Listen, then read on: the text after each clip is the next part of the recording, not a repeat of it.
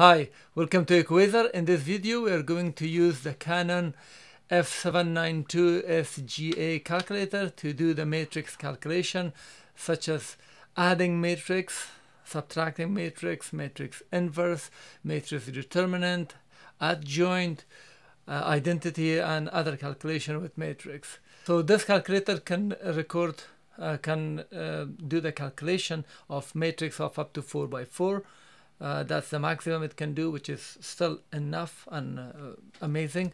Uh, the second thing is you can store up to four matrix plus one memory matrix or answer matrix, five matrix. So you can do the calculation of up to four or five matrix together, but four matrix can be stored. So in order to do the calculation, we first uh, store uh, matrix in the memory and then do the calculation or some inverse or determinant of some matrix over that matrix which is in the memory. So let's get started. Okay, just press mode, press 7, go to matrix. So now I'm storing a matrix, uh, let's say this is a matrix A that I have on the screen. I want to store matrix A into the memory. So for matrix A, I press 1. Now it asks me for the dimension. The dimension is 4 by 4 4 by 2 and all of the possible dimensions. This arrow shows I, that I can go down and see another screen and then now it shows I have more. So 4 by 3 3 by 2 so 3 by 3 is the one that I'm looking for so I'm pressing 2 now this screen is presented with a 3 by 3 matrix shown at the top matrix A. Now to enter all the values I'm just pressing entering them like that in a row. So 7 4 5 7 and then enter and then equal sign 4 and equal sign and 5 so 7 equal sign I'm pressing equal here on the calculator. 4 and then equal 5 and equal. So once I enter the cursor as you can see goes to the next line. Now enter the second row so from left to right 2 3 0 every time press equal so 2 equal 3 equal 0 equal now I'm the, on the next line so 8 1 9 8 equal 1 equal 9 equal. Once everything is completed after 9, once you press equal sign, that matrix is done. I can press mm, on or all clear. So clear all. So the screen is now there. Don't worry. If you have matrix here, all the values are within the memory. And then to bring up the memory, so that was entering the memory. To bring up the memory, we press apps here and matrix A here, number 3. So this brings our matrix that you see in here on the screen. So I'm pressing clear all. Again, screen is over. So uh, now let's uh, let's enter this matrix B into the memory. So now uh, uh so now that screen disappeared. This way now we go press app button and then number two data. Now it says which matrix so this time I'm going to put, put it in B, which is number 2. I'm pressing 2. Now with the arrow, go lower and find 3 by 3, which is number 2. So minus 1, for the minus you can press this minus or you can press this minus.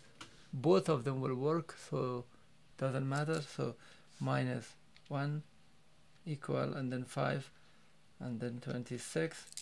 I'm entering them in a row so this way and then 3 14 9 and then last row 0 4 and then uh, 8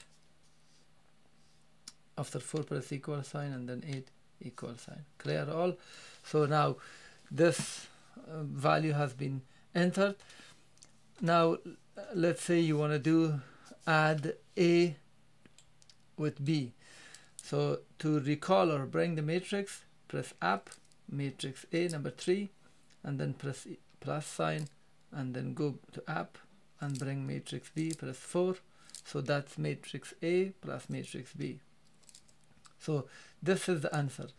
All the values you can sometimes if you see the decimal, this shows the actual value which we will see in the next uh, soon. Soon you will see it.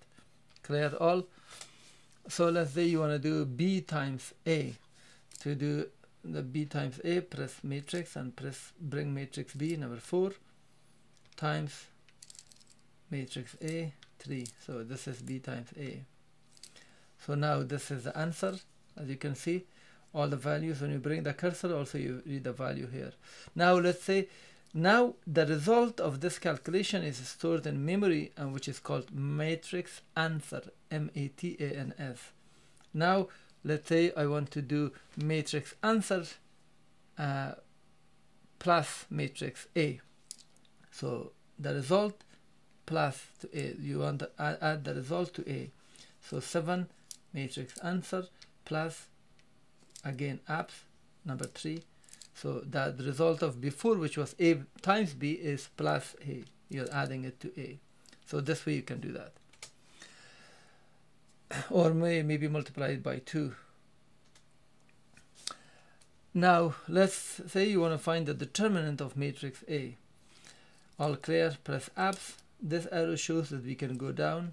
So here we have all these uh, functions. So number one determinant. So parenthesis open just recall matrix A press apps and for matrix A press 3 close it and then press equal sign.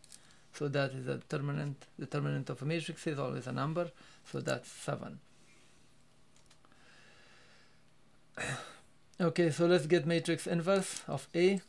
So press apps come down get inverse which is number 5 and then now bring A so apps matrix A number 3 close it. So this is the inverse of matrix A. Now as you can see this is decimal. Sometimes you need exact value in your calculations so that's 27 over 7 so here it shows as a decimal. At the lower part it shows actual. So when I bring this uh, cursor to the next value you will see the values will change accordingly. You can do also the matrix inverse another way so press apps let's say matrix B you want to get the, the inverse so 4 this button which is inverse and uh, normal calculation will work here as well so just press to the inverse the same way that you write it in your linear algebra class.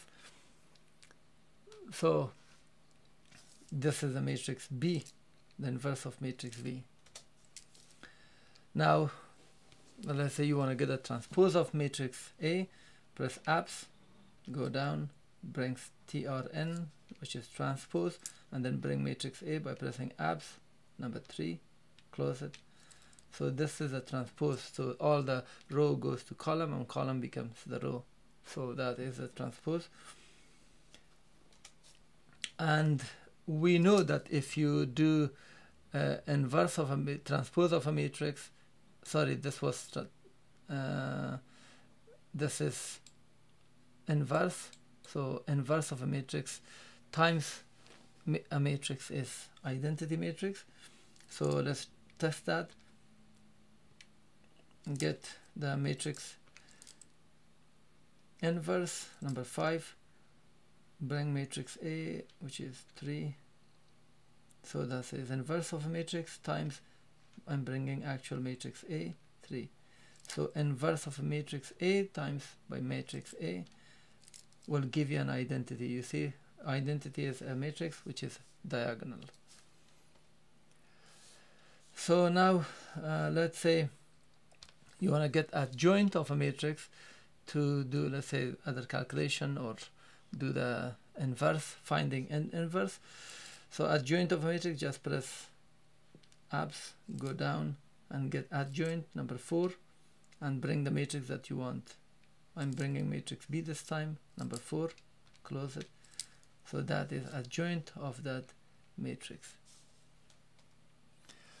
so this was a brief introduction uh, to using matrix and the Canon calculator. If you like the video, please thumb up and also please subscribe in order to get updates on my upcoming videos. Thanks for watching.